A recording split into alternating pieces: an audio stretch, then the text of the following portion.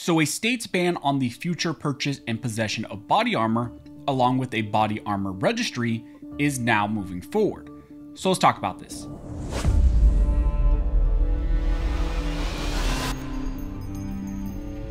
But real quick before we jump in this video, I want to thank the sponsor of this video, which is Lear Capital.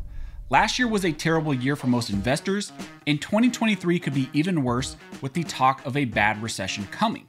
The one thing that has always remained true among human history is the value of gold, silver, and precious metals. There are a ton of good gold companies that you could choose from, but Lear Capital has earned my business because of their 25 years of experience, their thousands of five star reviews, and also their risk free 24 hour money back guarantee. So, if you're interested in investing in gold, I recommend you check out Lear Capital.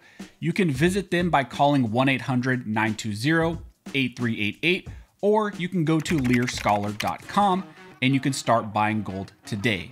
As I mentioned in the intro, in this video, we'll be discussing a bill introduced in the state of Illinois, which aims to ban the purchase and sale of body armor, including ballistic style helmets. This bill will also create a registry of those people in current possession of body armor. The bill we will be discussing in this video is HB 3238. The goal of this bill is to make it unlawful to buy, sell, or transfer body armor, plates, or ballistic helmets in the future after this bill goes into effect. Ultimately, Illinois wants to make it a crime for a civilian to buy body armor or for someone to sell that body armor to that person. This is similar to what California initially introduced with their body armor ban, which was AB 92.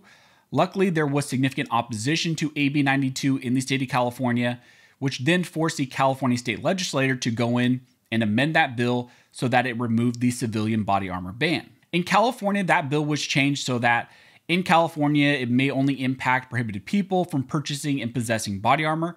Essentially, the change of that bill makes it so that a prohibited person will now also be prohibited from purchasing or possessing body armor in a similar way that they are prohibited from purchasing or possessing firearms. Now, although the California body armor bill got modified, the bill in Illinois, which is similar and a little bit further in its reach, is still moving forward as a general law that restricts those individuals in the state who are residents from purchasing and possessing body armor. The summary of this bill states that with certain exceptions, it is unlawful for any person within the state to knowingly manufacture, deliver, sell, import, or purchase, or cause to be manufactured, delivered, sold, imported, or purchased by another any armor plate, body armor, or military helmet. So that is the general goal of this bill. The bill aims to ban the future manufacture, sale, importation, or possession of various forms of body armor. The primary goal of this bill is preventing average law abiding people from having body armor. This bill also states that with certain exceptions beginning January 1st of 2024, it is unlawful for any person within the state to knowingly possess an armor plate, body armor, or military helmet. So, through this bill, they also include a grandfather provision for these items. This bill states that if you possess those items prior to the bill going to effect, you can essentially keep possession of those items.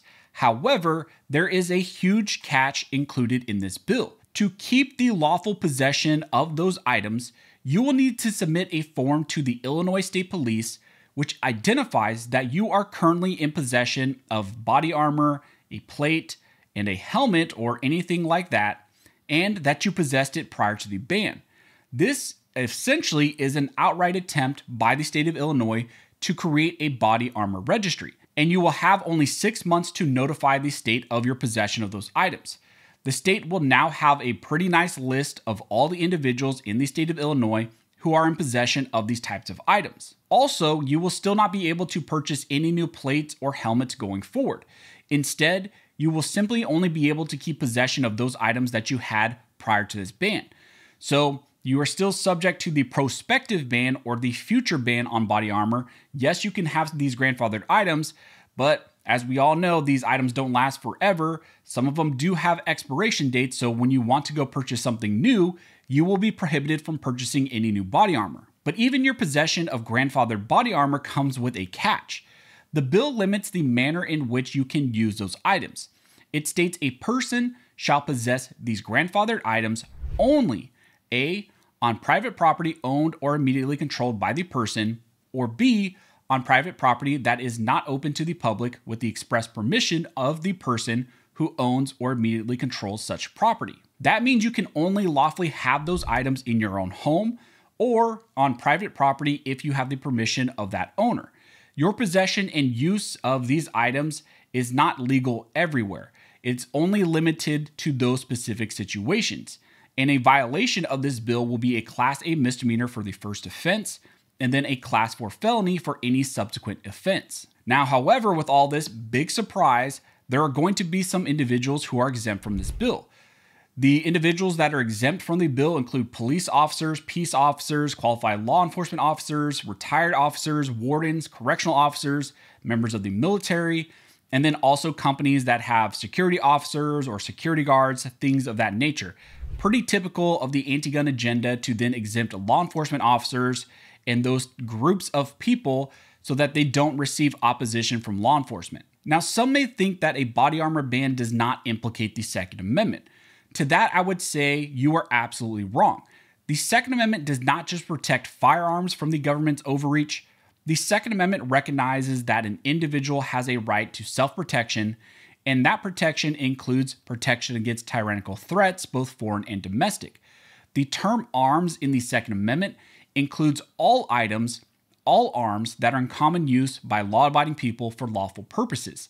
That includes defensive arms or defensive tools like body armor. In the Supreme Court case Caetano, the Supreme Court held that the Second Amendment extends to all instruments that constitute bearable arms, even those that were not in existence at the time of the founding. There, in that case, the Supreme Court found that 200,000 stun guns in possession in the entire US was sufficient enough to find that they were in fact in common use. And based on this, I would argue that there are significantly more people in possession of body armor, plates, plate carriers, ballistic helmets than there are people in possession of stun guns. Furthermore, the Supreme Court in Heller found that arms covered by the Second Amendment include anything that a man wears for his defense or takes into his hands. So, under the text, history, and tradition of the Second Amendment, body armor is a protected arm, and a ban on their purchase and sale is clearly unconstitutional. But the state of Illinois has now joined the effort to create a statewide ban on the purchase and possession of body armor, and they are targeting just the average common resident within the state, and they are exempting law enforcement officers. Now, again, some people may not think a prospective ban is that bad because they have grandfathering in there, but I just want to remind you we've seen stuff like this happen before, like in the state of California with magazine bans. They always grandfather something in win over hearts and minds, and then down the road, they will go in to try to also get rid of those grandfathered items, saying that they need to close the loophole. So don't fall for that trick. That's the classic anti gun kind of trick that they try to do with prospective bans. I also suspect that the recent incident in Nashville will maybe further stoke some of the fire uh, for body armor bans. So keep an eye on this. It may get a greater push in your state and in other states as well. And we need to support states like Illinois because once a state like Illinois passes a body armor ban, it's only a matter of time before it passes to other states.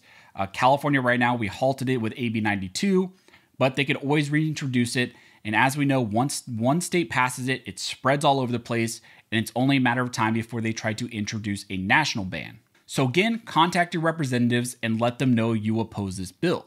And if we get any more information, I will let you all know.